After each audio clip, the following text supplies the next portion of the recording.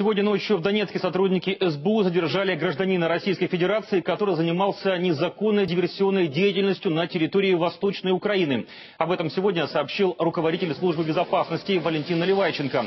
В частности, во время задержания у него обнаружили вещество, похожее на пластид и детонатор. В качестве доказательств журналистам показали фотографии с места задержания и дали послушать телефонные разговоры задержанного с его российским куратором. По словам главы ведомства, есть подозрение, что задержанный является сотрудником российских спецслужб. Це розвал в роботі декількох груп, які організовувалися одним диверсантом, громадянином на даний час ми розуміємо, встановлено Російської Федерації, який ми чітко розуміємо, має причетність До однієї спецслужб Російської Федерації. Слідство, яке триватиме, дасть відповідь остаточно, яка саме спецслужба, на якій саме посаді і хто саме надавав злочинні накази для роботи і в Луганську, і в Донецьку цієї конкретної особи.